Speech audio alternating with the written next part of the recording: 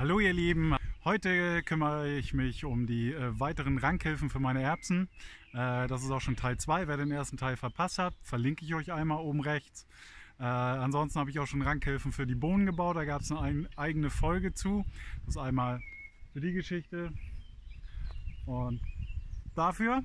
Und äh, was bei den Erbsen Teil 1 entstanden ist, ist dieser kleine Zaun, der da entstanden ist. Bevor ihr die zweite Folge guckt, auf jeden Fall erst die erste anschauen. Und ich lege direkt los.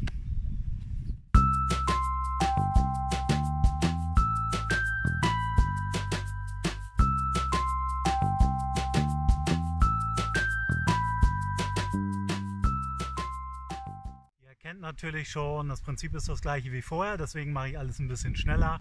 Detaillierter seht ihr es auf jeden Fall in der ersten Folge.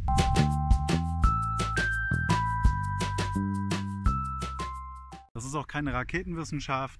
Stinknormale Knoten, äh, umwickelt, hin und her. Ihr habt das gesehen.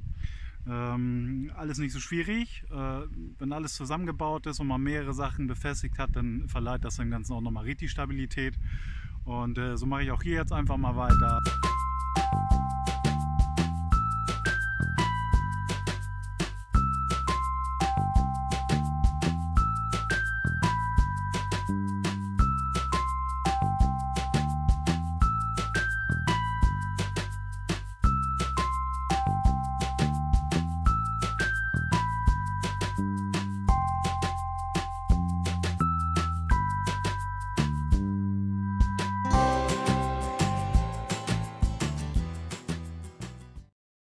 Mir eine neue Rolle besorgt, die andere ist fast alle.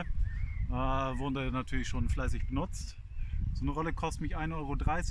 Ich finde, das ist sehr ergiebig für so eine Ranke, für Stöcker, die nichts kosten.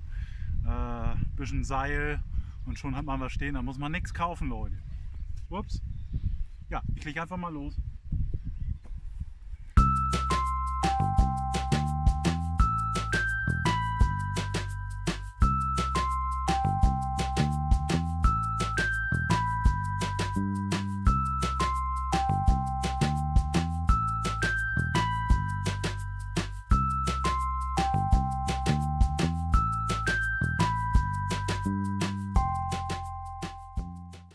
Mache jetzt gerade die letzten Knoten und die letzten Umwicklungen und dann bin ich auch schon durch. Und äh, dann werden die Rankhilfen dann platziert, aber ich denke, ich werde dann nachträglich nochmal ein bisschen Stabilität in die Geschichte bringen. Ähm, aber eins nach dem anderen, äh, eine Konstruktion muss wachsen und wenn irgendwas nicht sicher und nicht richtig fest ist, kann man ja immer nachsteuern. Also auch bei der Höhe letztendlich habe ich äh, mich auf die Verpackung verlassen, also so 50 cm werden sollen, habe ein kleines Stück oben drauf, so 10, 15 cm Puffer auf jeden Fall drin und ich bin mir sicher, äh, das wird schon ganz gut aufgehen und wie gesagt, man kann ansonsten nachsteuern.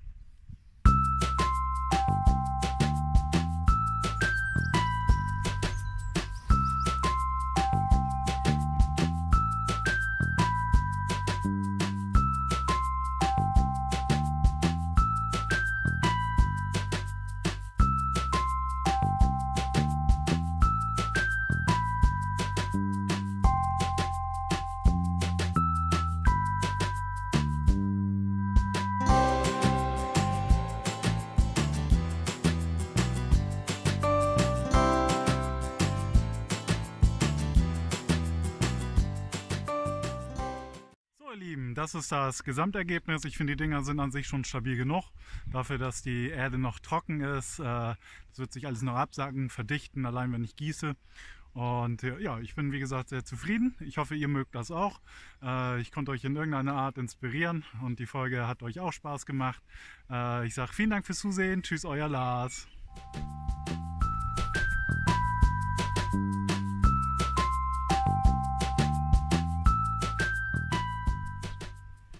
Ich glaube, die Erbsen werden es mögen.